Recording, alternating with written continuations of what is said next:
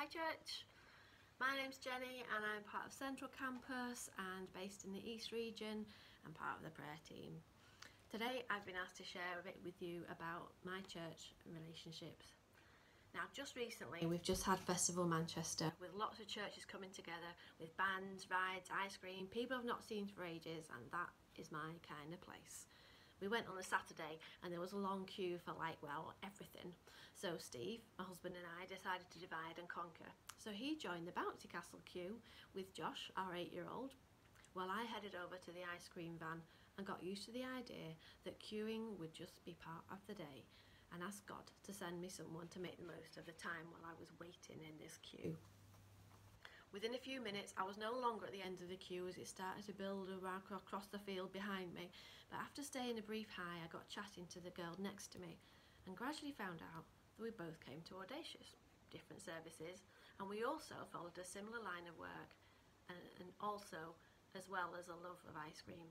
So, 90 minutes later, and I only came away with an Oreo sundae, but some encouraging conversations and a new friend. Hiya Nikki, if you're watching, it was great to meet you. After enjoying the children's choir and some of the acts as the day went on, it was time to go home.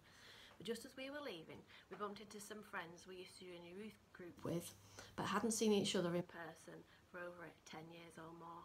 Needless to say, it was another half hour, another hour or so of catching up and reminiscing about Message 2000 and the good old days. I'm feeling old before we finally headed home. But what fun it was. When we get it right, there is something about being a Christian that whenever we meet each other, whether complete stranger in another part of the world or friends who go back years, whatever church you walk into, it should feel like home. Whenever we meet other people of faith, there be some, should be some sort of connection because as God intended, we are all family.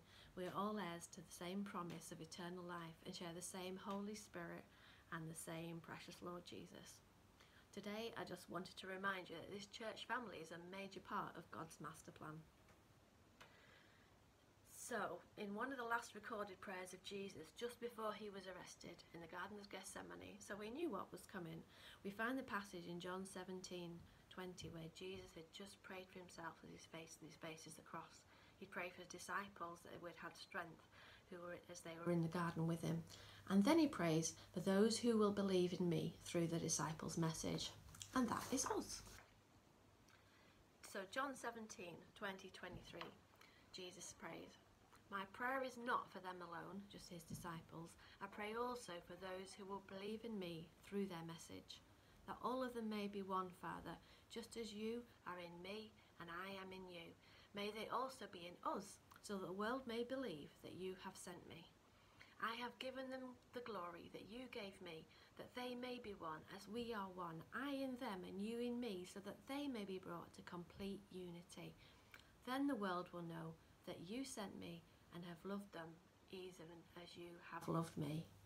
Wow, how amazing and what a miracle. A church where we are all in complete unity with Jesus and with the Father and with each other too. What a church that is. And Jesus says, because of this, everyone will know that you are his disciples. Because of our love for each other, that is our hallmark of our relationship with God. Yes, Jesus' intention in dying on the cross was to save us from our sin, and our personal relationship with Him is really important.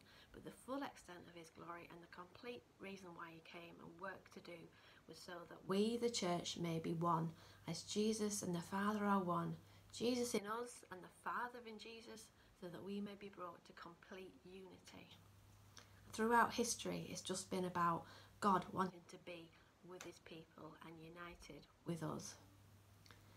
Earlier on that evening, after washing the Jesus, uh, disciples' feet, Jesus had taught the following A new command I give you love one another. As I have loved you, so you must love one another. By this will everyone know that you are my disciples if you love one another. And that's in John 13 34.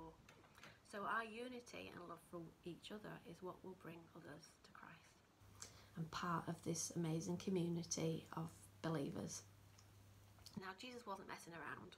He wasn't talking about a nice feeling, about being polite, or just getting along, everyone's going to get along together, or some random free love concept. He knew that there was no such thing as free love. He knew that love like that comes at a cost. And at the point where we find him praying for us as a church to be united, it's just before he's arrested and crucified. And Jesus was only too aware of that cost. But he decided that that price was worth paying for us to be united with him and the Father. And the only way to do this was through his own body and his own blood, his own sacrifice for us on the cross. Just before Jesus had prayed this prayer, he'd led the disciples in the first Lord's Supper, or today, what we call communion. And Paul talks about communion in 1 Corinthians 11. He talks about the seriousness and symbolism of taking part of in this new covenant in Jesus, even though it is a covenant of love.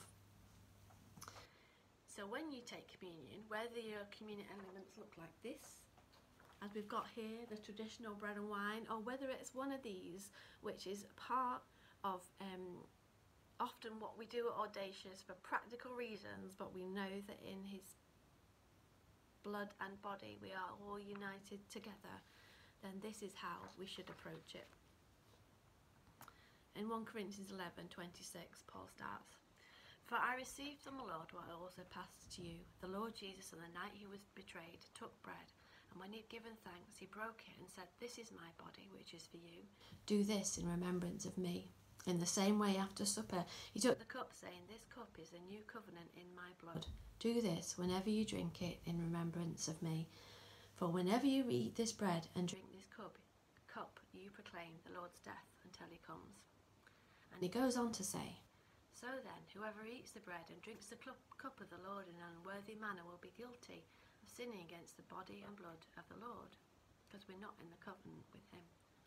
Everyone ought to examine themselves before they eat the bread and drink from the cup. For those who eat and drink without discerning the body of Christ eat and drink judgment on themselves. This is why many of you are weak and sick, and a number of you have fallen asleep. This is pretty serious stuff. But in Matthew 5:23, at the beginning of his ministry, Jesus says, "Therefore, if you're offering a gift at the altar and then remember that your brother or sister has something against you, leave your gift there in front of the altar. First go and be reconciled to them then come and offer your gift. So before we're back at church on Sunday, celebrating together, or we have the opportunity to take communion, why not take some time now just to examine your heart? If there's anything between you and God, then confess it and accept forgiveness. And if there's anyone that you have something against or something that isn't quite right with, then why not forgive or ask for forgiveness and make it right before we're next together so that we can be united in Him. Then, as a result of his sacrifice, for which you're eternally grateful, we can rejoice together and love one another as a church which is in complete unity and the answer to Jesus' prayers. Bless you, church, and may your small groups be places where God loves run deep.